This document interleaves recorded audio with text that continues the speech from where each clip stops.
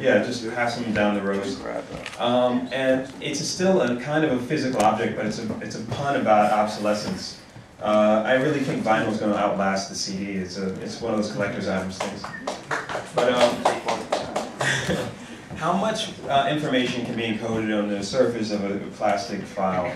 Depends on how small you write. This is true. But um, so Angola was Soviet Africa, and I spent about six weeks there looking at uh, a lot of the contemporary art and digital media scene going on, mainly from the viewpoint of uh, how an African culture could respond after a devastating resource uh, nationalist war. Um, so there's music from all over Africa, stuff from Angola, uh, Tunisia, Tanzania, Kenya, South Africa. The idea is electric Africa, um, and I really want uh, whenever I was just at Google the other day, and uh, one of the few places on the planet that has almost no Google nodes is Africa. So it's actually the dark continent again on some levels. Uh, but I also wanted to figure out some ideas around mashups. So that's the other So the pun here is we're looking at a social process, a network of exchange. And um, you know, it's you, there should be enough CDs for everybody. And if you didn't get one, there's the, the link is online anyway. Uh, so it's about you know kind of a pun of physical versus dematerialized, uh, and we all trade. You know, so uh, with that said and done, what I want to do is jump into the books.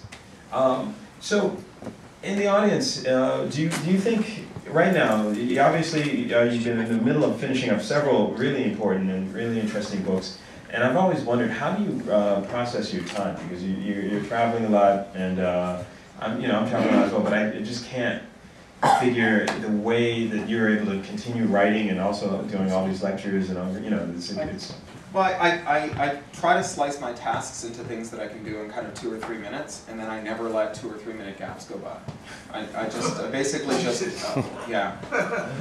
Wow. That's it. I, it's basically, you know, if you start collecting, uh, it's it's the it's like that scene with Richard Pryor at the beginning of the toy where where he talks about how if you shave if you shave it, you, it may just be a billionth of a penny, but if you shave enough of them and stick them together, you end up with a lot of money. So if you shave those three minute segments, those two three minute segments, it turns into a lot of uh, time.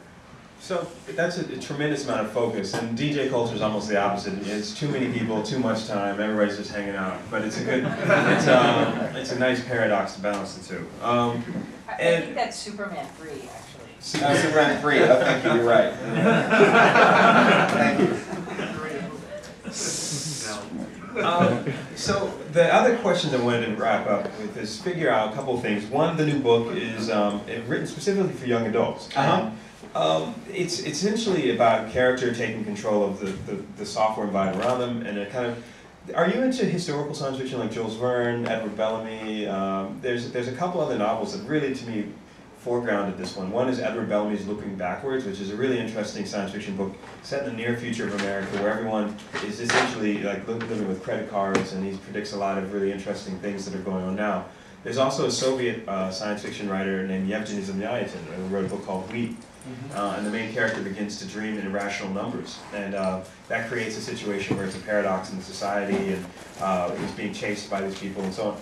But the totalitarian motif seems to really keep coming up you know, in some of your work. I mean, do you feel in the next 10 years or so any of these are resonant with reality as we know it, or is science fiction kind of more of a prophecy, like Bruce Sterling, William Gibson, in that tradition, or? I think science fiction writers predict the present. Uh, even when they think they're predicting the future, I think they predict the present because you, know you read you read, for example, um, Asimov and, and the things that he was anxious about in his fiction, and it was things that were that were happening in his contemporary time, or Heinlein, or, or any of the you know kind of the greats. They're all they're all sitting there writing about stuff that's happening right then, as though it were happening in the future, and making predictions about it. But I think they're really reflecting back their anxieties about the present. I think that um, we live at the unfortunate confluence of uh, of, of two. Uh, technological problems. Um, the, the, the first one is a social technology, which or, or maybe a psychological technology, which is uh, we figured out to uh, a really fine degree how to exploit the cognitive defect that human beings have in assessing risk, uh, especially assessing the risks of rare occurrences.